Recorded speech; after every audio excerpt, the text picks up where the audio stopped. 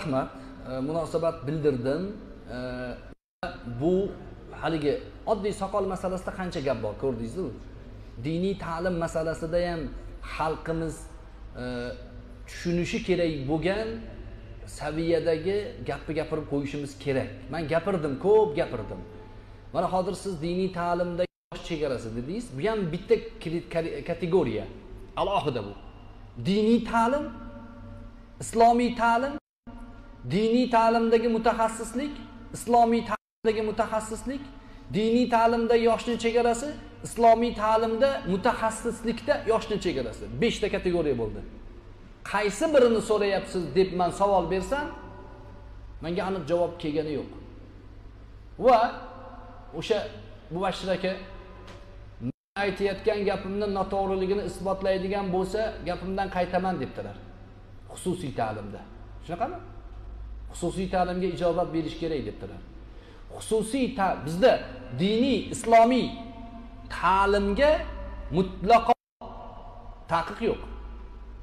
Taqiq yo'q. Madrasada ta'lim bor ma'hadda ta'lim bor oliy e, institut bor ta'lim bor buni sonlari bor. Bunda ijozat bor. Lekin bunda ham problema bor muammo bor. Nima? Kvota masalasi. Kam qabul qiladi. Ko'paytirishimiz kerak. Shu taklifni kiritdik. Man ulamolar kengashini ichida o'tirdim o'zim. Yosh bola bo'lib olib o'tirdim. Katta katta ulamolar. Ular shuni taklif qilishdi. Mandan ham so'rashdi. O'zim e'tiborga loyiq bo'lmasam ham lekin aytdim. Agar gapimni qabul qilsanglar kvotani ko'paytirish kerak. Shaxsan din ishlari bo'yicha vazir janoblarini o'zlari menga aytdiki o'ttizta qabul qilsa yana yigirmata odam tayyor turibdi yiqildi bular. Lekin bular o'qish kerak deb menga ro'yxatini beringlar man o'shani olib kiraman o'qishga dedilar. Kvotani ko'paytiramiz. Alhamdulillah bu ketyapti.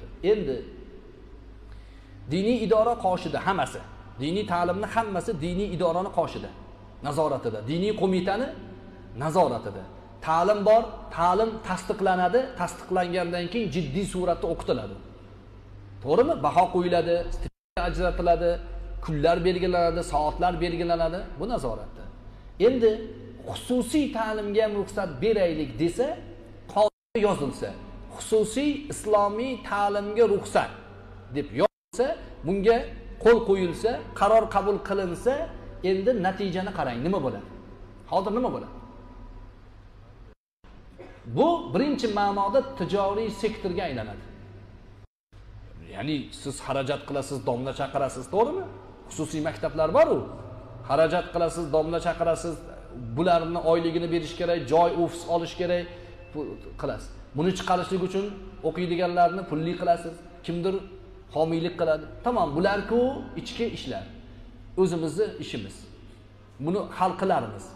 Lekin ichimizda o'sha kecha man oldingi kuni ko'rgan bolangiz masjidga kelib baqiryapti oddiy samimiy savol bersa javobini ololmaydi chunki bir yildan birini haqorat qiladi meni. Bo'lsa ikki martami uch marta javob berganman. Shu uchta javobimni man bilan janjal qilyapti deb tarqatib yuribdi. Bir yillik javobga hech yo'q bir marta javob berib qo'yish kerak to'g'rimi? Bir yillik haqoratga. O'sha bolalar ochadi. Uni atrofida bor shunga o'xshagan. O ibrohim muvahid degani bor. U yoqdan turib olib bu yoqdagi odamlarni ya'ni fitnaga solyapti provokatsiya qilyapti. O'zbekistonda emas javob beraman. Yolg'onchi odam qancha qancha odamni boshini aylantiryapti. Ha bu yerda ukasi bor ukasi yuribdi bu yerda. O'zi yo'q. O'zi o chekkada o'tirib olgan. Ular finans qiladi kimdirga ochiradi endi uni ta'limini kim nazorat qiladi? Siz kirib nazorat qilaman desangiz sizga qarorni ko'rsatadi. Xususiy ta'lim. Bu meni xonam kirishga haqqingiz yo'q chiqing deydi. To'g'rimi? Agar masalan radikal qarashdagi ta'limni o'qitayotgan bo'lsa davlat strukturasi uni kelib borib so'roqqa tortsa bular bbcga ozodlikka chiqadi. O'zbekistonda diniy ta'limga qarshilik bo'lyapti deydi. Ular tayyor turibdi buni xohlaydi. Ana o'zbekistonda diniy ta'limga qarshilik. Bu ehtimollar odamni qo'rqitadigan ehtimollar emas. Man sizga real voqelikni aytyapman. Endi man mubashshir aka bilan bir xil gapni gapiryapman o'zi. O'sha boshlang'ich ta'limda muammoyimiz bor yosh chegarasida muammoyimiz bor. Shu yosh chegarasini tashqariga emas o'zimizga ushlab qolish uchun har bitta masjidga imom imomi noibiga imkoniyat beraylik. Bizdan chiqqan taklif. Beraylik. Masalan uch oylik kanikul hozir shu kanikul paytida bolalarimiz masjidda qur'on ta'limotini o'qisin. Shu masala o'rganib chiqilyapti hozir. O'rganib chiqilyapti buni diniy idorani qoshida nazoratida qilsa bo'ladi. Inshaalloh buni duo qilib turinglar agar o'xshab qolsa alhamdulillah. Endi shu voqea hodisalar boshlanganda mubashshir aka haligi keskin harakatni boshlab yubordi bu yoqdan u harakat bo'lyapti. Bo'lyaptida boshqa tomondan u kishi boshqacha urinishga harakat qilib yubordi maqsad bitta. U kishi xohlayapti biz ham shuni xohlayapmiz. Sizga aytdimu oldingi suhbatda qayerdadir aytdim. Said komil degan ukamiz post qo'ydi. O'zi abror aka ham shuni aytyapti. Mubashshir aka ham shuni aytyapti. Faqat abror aka bu narsani diniy idora qoshida nazoratida bo'lsin xususiy ta'limga erkin yo'l qo'yib bermaylik deyapti. Mubashshir aka xususiy ta'limga ham yo'l beraylik deyapti. Farq shunda. Deb qo'ysa pastda bittasi aytyapti. Man mubashshir akani gaplarni ma'qullayman ta'limni diniy idorani nazoratda qilish kerak deb qo'yibdi. Tushunmayapti odamlar nima nima haqida gap ketayotganini keyin said komil yozibdi siz mubashir akani tarafini olib abror akani gapini yozib qo'ysiz deb shunaqa bo'lyapti. Mubashir akani mm, ga o'xshagan odam o'ttiz qirq yilda tarbiya topadida. Man u kishini g'amini yeb atrofida turgan odamlarda unaqa saviya yo'q. Aynan bittasi aynan meni masxara qilib yozyapti facebookda masxara qilib yonida turgan. Yozyapti. Vodiyda bo'layotgan mana shu chiqishlar shu harakatlarni. Birodarimiz abror muxtor ali facebookni biladiganlar bor. Oldiga sabachkani qo'yib yozsa tek chiqadi. Abror muxtor ali birodarimiz bizga xabar berib turibdi olloh rozi bo'lsin deyapti. Haligi tek troll profilda eshakni nomiga ochilgan post profil. Ataylab bitta eshakni rasmini qo'yib meni abror muxtor ali birodarimiz xabar berib turibdi deyapti. O'zini aqlli deb o'ylayapti u. Bilsa chin bilmasa chin bilsa hazil qilyapti. Man o'ziga lishkasiga yozdim siz o'zingizni aqlli deb o'ylayapsizda hozir to'g'rimi? Mana shunaqa qilib masxara qilyapsiz. Yo'q bilmay qolibman anaqa ekan mana e, bilmay qolgan odam chiqib aytadi birodarlar uzr noto'g'ri qilib qo'yibman abror aka sizdan uzr so'rayman deydi. Ommani ichida haqorat qilib lichkada uzr so'ralmaydi keyin chiqdi. Man gaplarimdan keyin chiqdi. Ungacha o'zi o'zida tashabbus yo'q. Mubashshir akaga shular zarar beradi. Meni gapimni yozib qo'ying chizib qo'ying. Man zarar xohlaydigan odam emasman zarar xohlaydigan odam emasman mubashshir akani telefonida meni montaj qilingan rasmlar qayerdan turibdi ularda. Ko'p narsa borda birodarlar. Bu yerda biz dinimizni siyosiylashtirmasligimiz kerak. Eng katta qo'rquvim bu. Sharoviy aytadi. Dindor siyosatchi bo'lmasin lekin siyosatchilar dindor bo'lsin. Siyosatchilar vijdonli bo'lsa hammasi joyiga tushadi? Dindorlar dinini amalini qilib yashaylik birodarlar bizga kerak emas u siyosat. Bunaqa qilib ultimatum qo'yish bo'layotgan ishni man qilyapman deyish hech kim manga qo'shilmayapti deb da'vo qilish noto'g'ri. Ba'zan qo'shilmaslikka haqqimiz bor. To'g'rimi? Qo'shilmasligimiz balki o'sha odamni foydasigadir. Lekin diniy ta'limga hech kim qarshi emas. Yolg'on gapirishyapti. Meni diniy ta'limga qarshi qilib ko'rsatishyapti. Yo'q. Shu narsalarga erishguncha yetib keldik alhamdulillah. Diniy ta'limni bir qismi hozir. Hozir oramizda ho yosh bolalar o'tiribdi hech kim taqiq qilayotgani yo'q buni to'g'rimi? Yosh bolalar haqida masjidga yozib qo'ygan hadislarni bular zaif sobiy deganda boshqa narsa tushunadi deb qarshi raddiyalarni yozganman. Bu manmanlik ma'nosida emas. Man sizga ne'matni zikrini aytyapman. Qilgan ishimizni yolg'on xabar bilan tarqatayotganlarga raddiya sifatida gapiryapman. Demak umumiy ma'noda o'zi gap bir. Unga ham yetib kelsak kerak xususiyga ham. Faqat uni qachonligini man bilmayman u lekin umumiy ma'noda mutaxassislar yetib kadrlar yetishib chiqqandan keyin bo'ladi. Yetuk kadrlar ma'lum bo'ladi. Ular ishonchli odamlar millatini o'ylaydi xalqini o'ylaydi kelajagini o'ylaydi. Bugun peshinda muzaffar aka yig'lab gapirib. Yosh bolalarni misrga jo'natishgan olti yoshli bolani yetti yosh bo'lgan ko'chada o'ynagan yurganda tiqqita o'g'irlab ketishgan bolani. Keyin tashlab ketishgan borishsa pochka bo'ladi. Olti yosh bola ota onasi bu yoqda yuribdi u yoqqa tashlab qo'ygan. Nazorat yo'q. Man bir davlatni qoralamoqchi emasman. Misr e, o'zini qonuni huquqi borda lekin u u darajada nazorat yo'q. O'shaning uchun azharni o'zi taklif qilyapti. Bizga o'qishga keladiganlarga sizlar anaqa beringlar tavsifnoma deyapti. Azhar aytyapti bizdagilar o'zlaridan tashabbus qilib qilgani yo'q.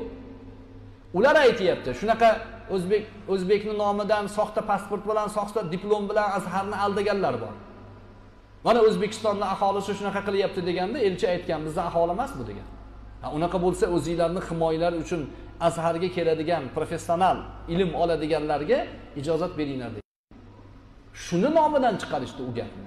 To'g'ri bu ham endi qog'ozbozlik korrupsiyaga aloqador masala. Vijdonli odam o'tiribdi muzaffar aka vijdonli odam. Aytyapti o'n oltinchi e, avgustgachami iyulgacha topshiringlar man sizlarga qilib beraman deyapti. Muzaffar aka ajoyib inson. Ya'ni shu millatni o'ylagan odam. Shunaqa odamlar bor atrofimizda ya'ni mutasaddi shaxslarni ko'pi shunaqa hozir. Xalq bilan birlashaylik. Siyosatchilarni eng katta yutug'i nima aytaymi? Xalq bilan davlatni o'rtasiga nizo solish. Xalq bilan davlat o'rtasiga nizo solinsa keyin keyingi etapda har xil ishlarni qila olishadi.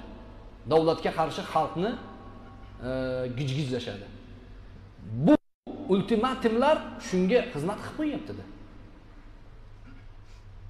bir kunda bo'ladigan ish emas lekin sekin sekin inshaalloh bo'ladi. Ta'limga nisbatan mana aytgan yuqoridagi aytilgan narsalar ichida bittasi yosh chegarasi ikkinchisi xususiy ta'lim. Yosh chegarasi bilan xususiy ta'limni birdaniga ochib yuborilsa zararlar bilan qiladigan foydamizni hisobini hozir hech kim bizga javob berolmaydi kafolat yo'q. Kafolat yo'q. Man o'zim shaxsan ko'rib kuzatib turganim ma'rifatchilar dokumentni tayyor qilib ushlab turibdi. Agar qonun atmin bo'lsa topshiradi. Adliyaga birinchi. Biz deydi xususiy ta'limni ma'rifatchilar asosida o'qitamiz. Kim ma'rifatchilar? Qur'onni o'zbekcha namozni o'zbekcha o'qiymiz deganlar. Angliya qo'llab quvvatlaydi ularni. Keyin satanistlar bor. Satanizm din. Ular ham keladi. Biz deydi diskoteka ochamiz adliyadan o'tamiz xususiy xususiy ta'lim beramiz. To'xtatib bo'lmaydi. Iyegova shohidlari kiradi to'xtatib bo'lmaydi. Baptistlar kiradi beradi adliyaga. To'xtatib bo'lmaydi. Haligi diniy tashkilot ochish uchun yuzta odamni imzosi bor ediyu elliktaga tushirildiyu xursand bo'ldik. U xursand bo'ladigan emas boshqa tashkilotlarga imkoniyatni kengaytirib qo'yildi u bilan. Yuzta baptist chiqmasligi mumkin bizda. Lekin ellikta chiqadi bizda zotan bu narsani aholi ko'p bizga yuzta emas mingta yig' desa ham yig'a olamiz bizga urib qulaydi kamaytirgani yengillik bizga emas qonunlarni natijasini biz ya'ni huquqiy ma'noda to'g'ri tushunishlik saviyasiga kelishimiz kerak. Ha gaplarimizda ba'zan odamlarni ko'zida xatoga o'xshab ko'rinishi mumkin. O'rganib ko'ring natijasini ko'ring. Termiziyda zo'r hodisa bo'ldi. Bizni kuzatib yurganlar biladi. O'shanaqa savolni bir kishi berdi xususiy ta'lim haqida. Javobni berdimda bilasizku odam bilan gaplashayotganingizda ko'zidan yuzidan javob qoniqarlimi yo'qmi? Qoniqmaganday bo'lib turibdi bola. Savol bergan. Keyin boshqasi savol berdi. Meni dedi savolim yo'q dedi. E, televideniyada dedi har turli e, anaqalar axloqqa zid narsalar qo'yilyapti. Shularni ham barham berish kerak dedi. Rosa mavzuga tushdida. Eshitib turing siz dedimda keyin unga aytdim. Televideniya dedim xususiy sektor bor televideniyada xususiy sektor adliyadan ruxsatini olib olgan. Olganligi uchun xohlagan narsasini qo'yyapti borib turib qo'yma desa man xususiyman deyapti. Nima qilasan? deyapti. Tushundingizmi? dedim. Mana shunaqa bo'ladi dedim. Bitta misol mana dedim. Hech narsa qilolmaymiz buni keyin dedi ha buku e, yarim yorti odamlarni ishini qilyapti. Lekin bu e'tiqodimizga qarshi ish qilsa nima qilamiz? To'g'rimi? Bunaqa xatarlarini agar kafolat beraman man hammasini nazorat qilaman deb bir odam boshini kundaga qo'yib aytsinchi aytsin. Bo'ldi xususiyga ruxsat bering. Man har qanaqangi tashqi kuchlarini ichkariga kirib xususiy ta'lim bilan bizni ichimizdan bulg'ashligini oldini ola olaman desinchi bizga manga masalan ko'rsatsin mana mana mana bu asosda asosini olaman desa unda man ham shu tarafga o'taman. Bu bitta shaxslar emas masalalar nima? Bizni millatni e'tiqodini buzmaslik uchun nazorat shart deb o'ylayman. Yana buni muhokamasi bo'lar e, lekin umumiy holat shu